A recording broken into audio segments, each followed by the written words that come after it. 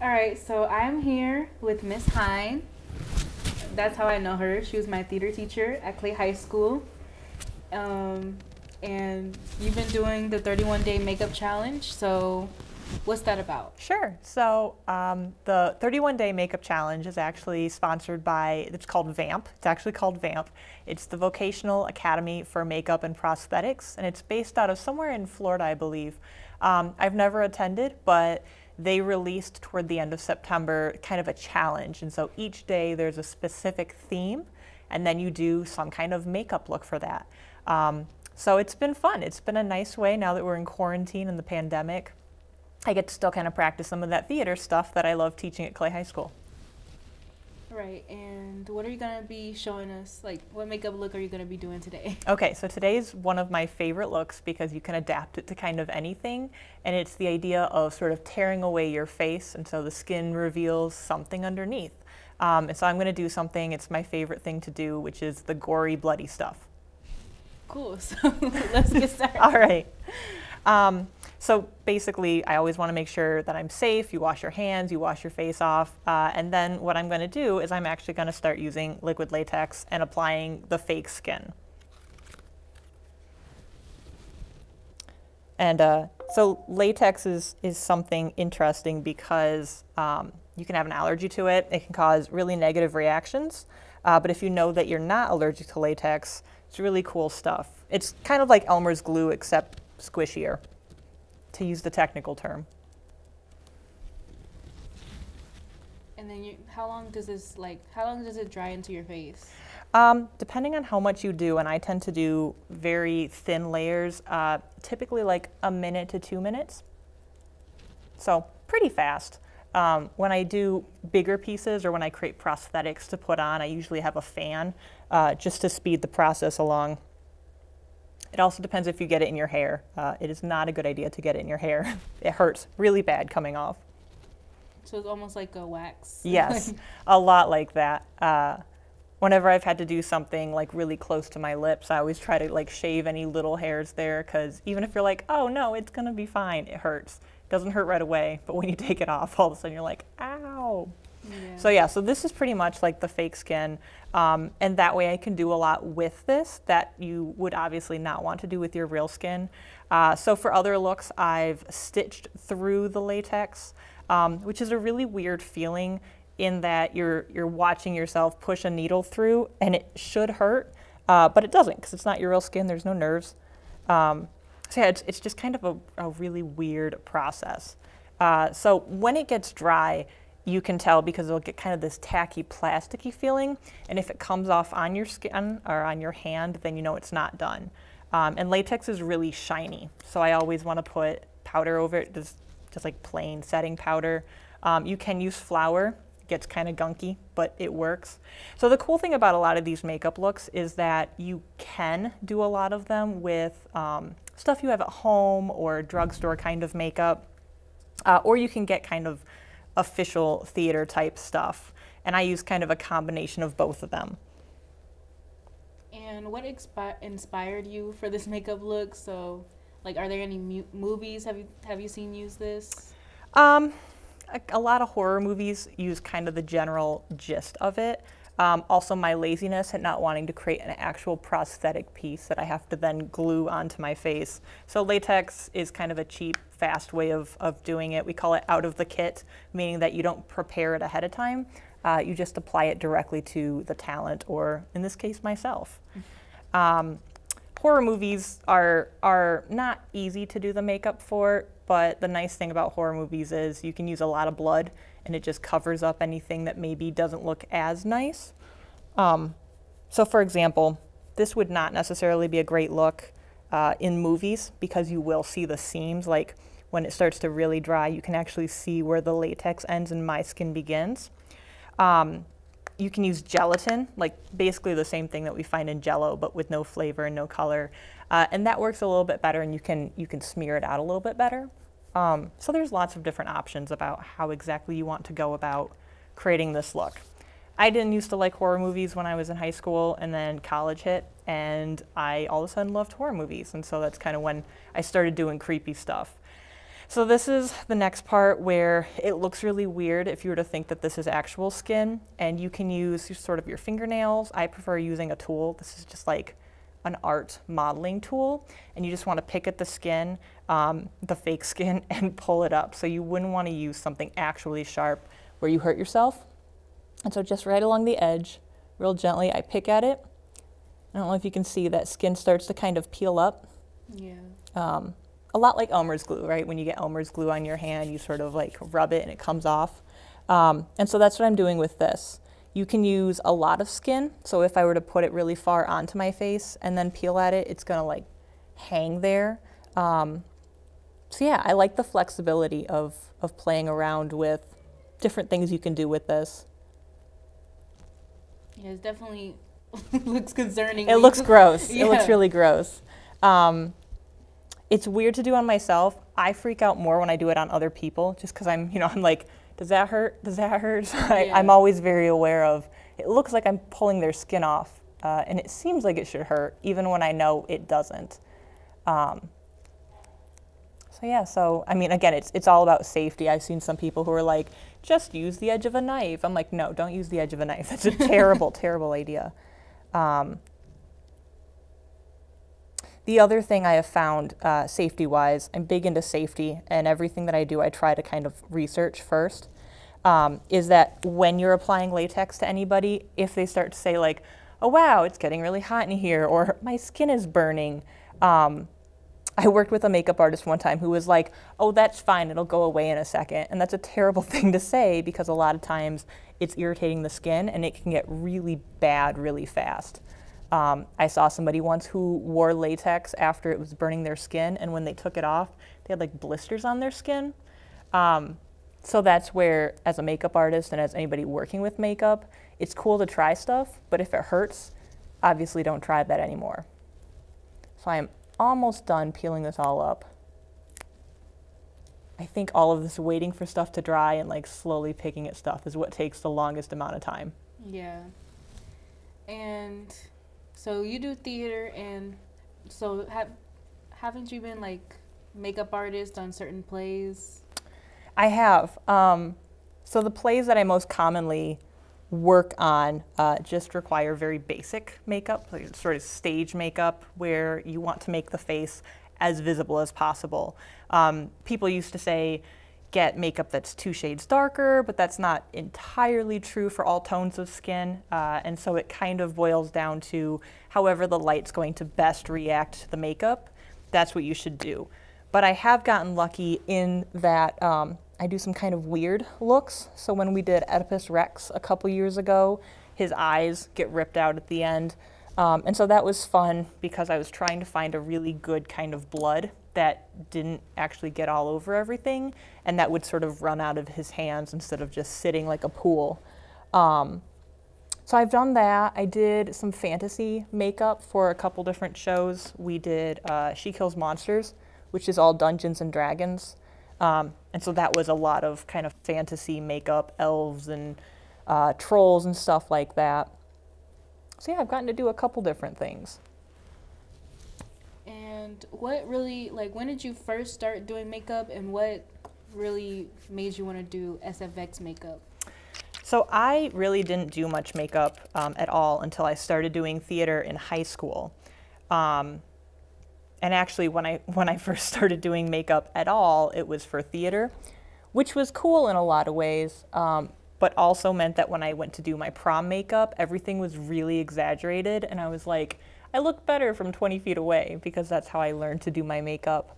When I got into college, um, I started out thinking I was going to major in theater, and then that changed a couple different times.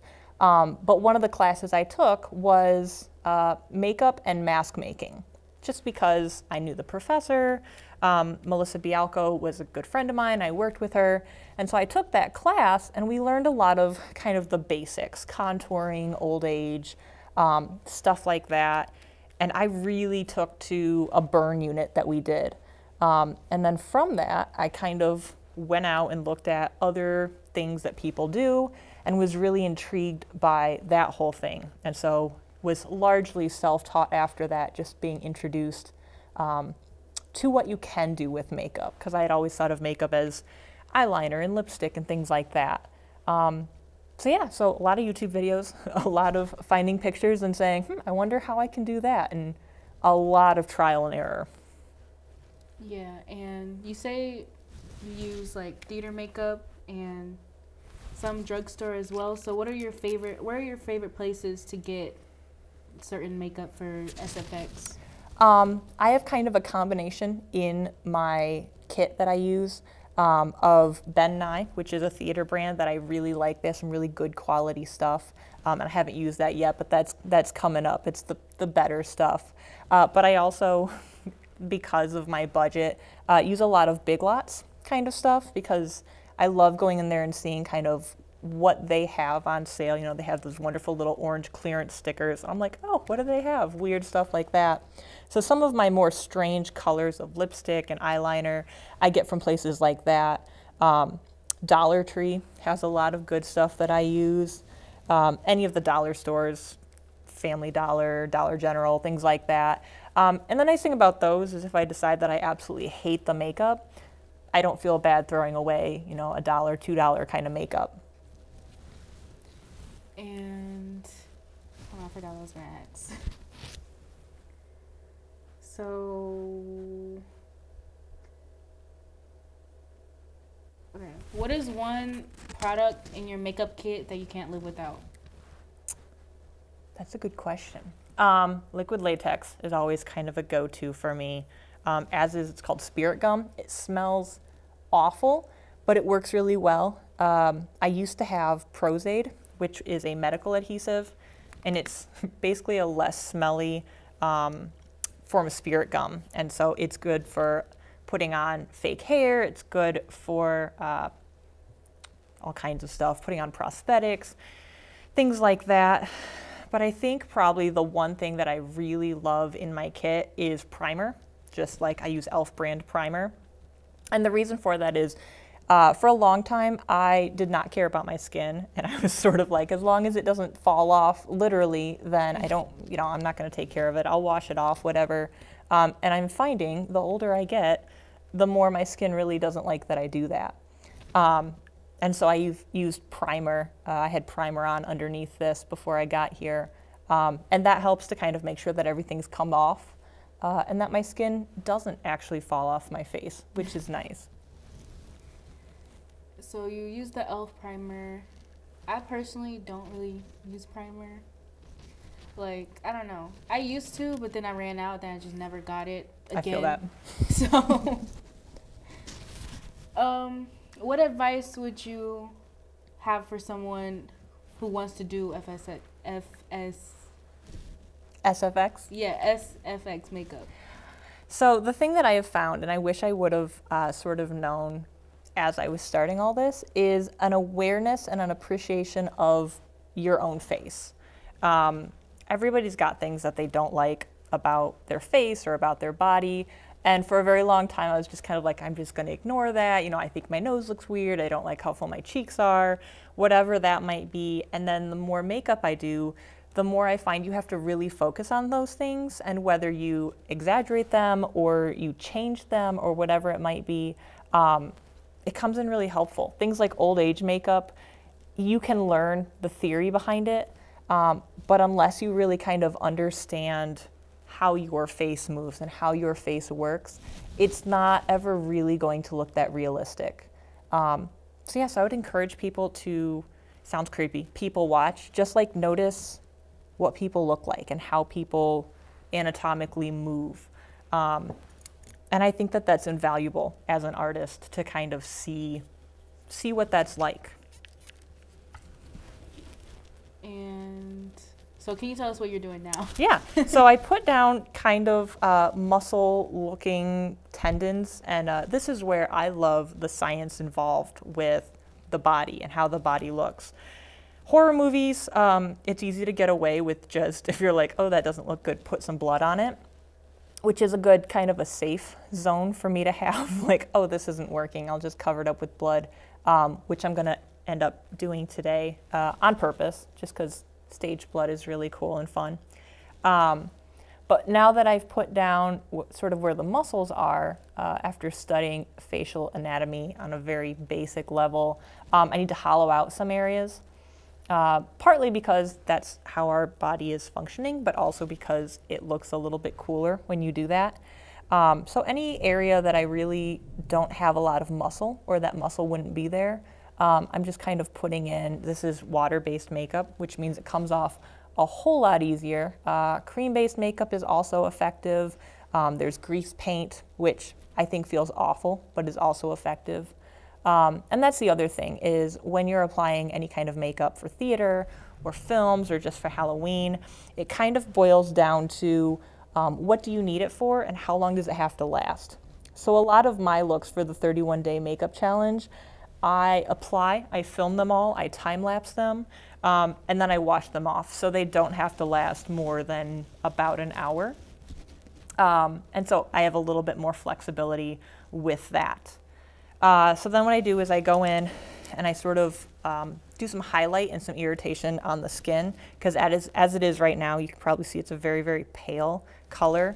Um, and so I just go in and right along the edge, I take, this is, this is Wet and Wild. So again, I just got it from some like Target or something. Um, and I just add in some of those colors. I think the hardest thing when I find makeup in drugstores and at places like Target and Meijer and stuff is that so often um, people want glitter in their makeup, and for effects makeup, you actually don't want glitter most of the time, um, unless you're doing like a magical woodland fairy or something. Um, so that's always hard, is trying to find what I actually need uh, in the color that I need or the consistency that I need, um, something like that. So in SF, in SFX makeup, like you mostly need matte eyeshadows and I see like are you using like do you get mostly paint brushes instead of regular brushes? I have a whole combination here. Um, so a lot of for my water based paints uh, i use just paint brushes because they're cheap and they're also a little bit more um, compact. Uh, i also use this is i don't know i think i got this at kohl's after christmas one year um, an actual makeup brush. Ben nye uh, has their own makeup brushes and this is a little bit more compact um, a little bit more, holds up a little bit better to especially greasy kinds of paints. Um, and then I also, this is my, I think my great great grandma's vintage makeup brushes and they work really well and they've lasted a really long time. So I have a whole combination of, of different kinds of uh, brushes and tools and stuff like that. And what are some makeup like horror stories? Oh, there are so many. Um, so, kind of makeup, uh, we're going to go back to when I was a stupid high school student back in the day.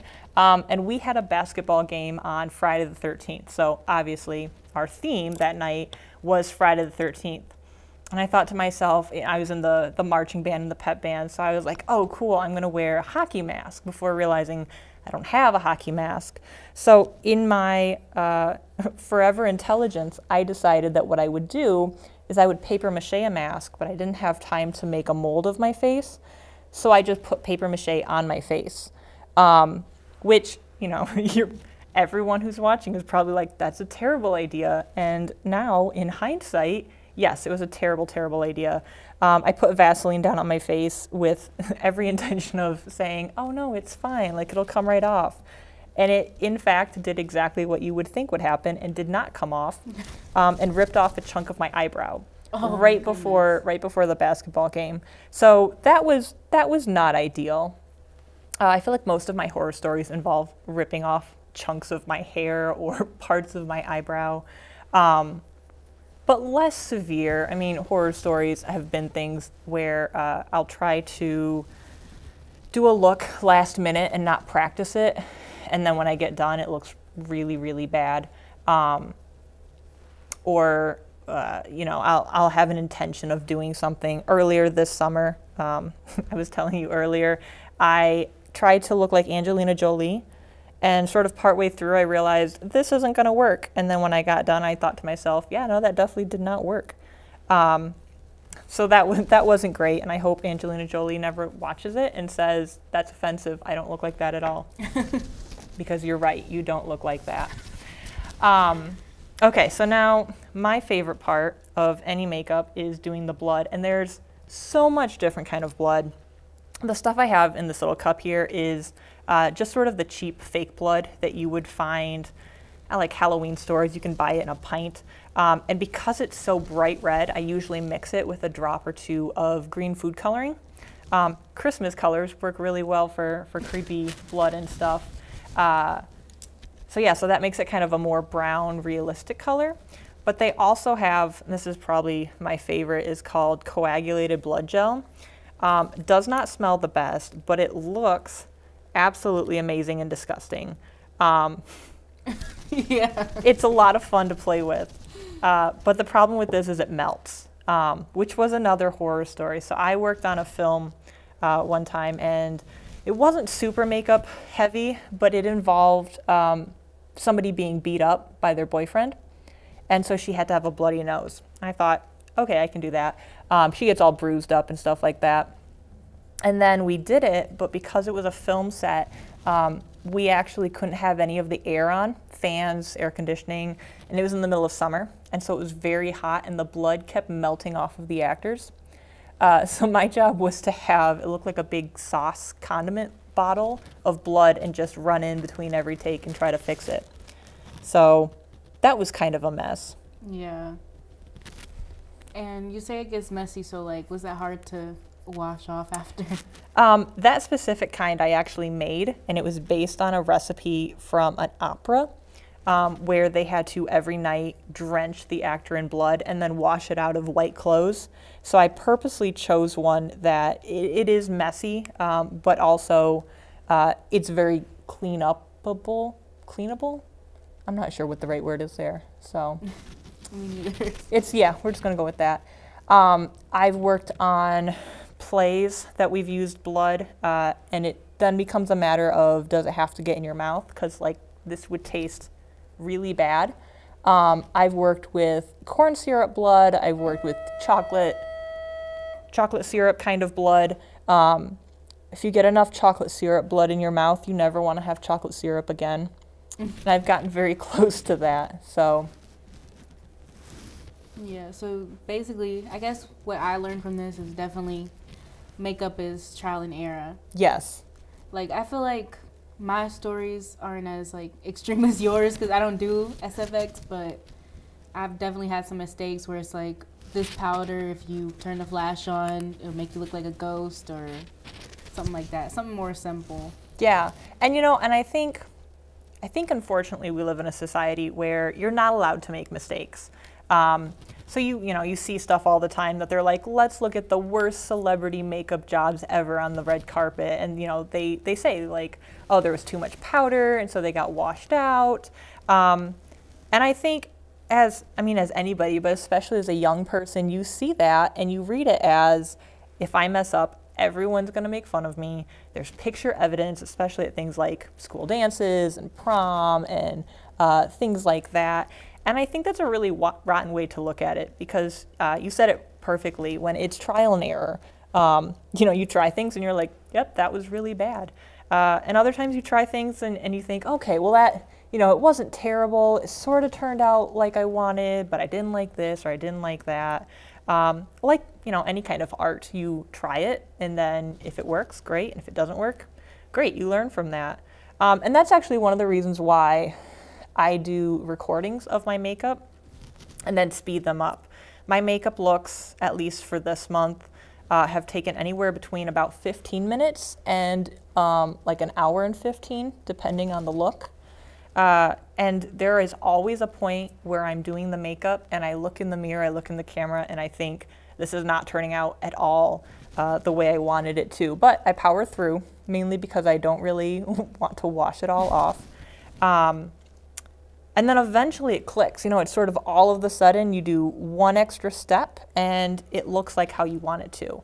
And I think that's a really cool experience of, you know, it's it's very easy to just sort of give up and, and think to yourself, like, I did it wrong, it's never gonna work. And then realize that it can. Like you can make it work. It's art. And I think that's no, like is very important now that you said that because there's so I feel like in makeup now, like the makeup industry, like people are getting into makeup younger and younger. Like before, it was like you can't have makeup until you're in high school, but Sure. now kids are starting in even elementary school. Yeah, which is wild to me because you know I was in in elementary school and middle school, and I was like, look at this chapstick; it's got some glitter in it. Like that was about as fancy as I got. And now, yeah, there's these kids who are doing winged eyeliner at age eight, which like power to you because I cannot.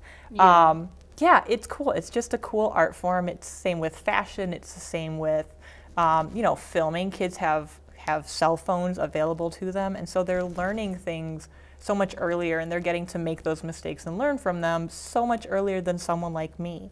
Um, so yeah, so I think it's cool. I think we just need to be in an environment where we are not comparing ourselves like, oh, well, when I was eight, I didn't do that, and so you shouldn't do it either. And instead, look at everything as, wow, that's really cool. Like you're learning from what we did, and you're learning on your own too. And that's really cool. Yeah, because even me, I started makeup when I was 13, and then I used to wear makeup here and there, like sneak in my mom's makeup drawer, and then I would try to go out in public with it, and she's like, "No, you can't wear that." And then, like now, I see kids like younger that were younger than me, like, and they're wearing makeup. I'm like, my mom wouldn't let me do that. That's a lot. That's a lot for a little kid. Yeah. Yeah. So that's kind of what it what it ends up being. Um, it's very goopy. It's very shiny. You know, you can do all different kinds of things. Um, I've seen people who contour it where it looks like your eyes falling out. Uh, things like having white eyeliner on your on your waterline makes it so your eyes seem bigger. I've seen. Um, people who really kind of do their makeup up glamour wise on the other side to make it that much more obvious. You know, you can do fake lashes, you can do eyeshadow, you can do contouring, things like that. But I think what I love most about this look is that you can do whatever you want underneath. So uh, I have never done the look, but I've talked about it with a lot of kids that maybe you want to celebrate Pride Month, and so you do this kind of tearing away, and there's a rainbow flag underneath.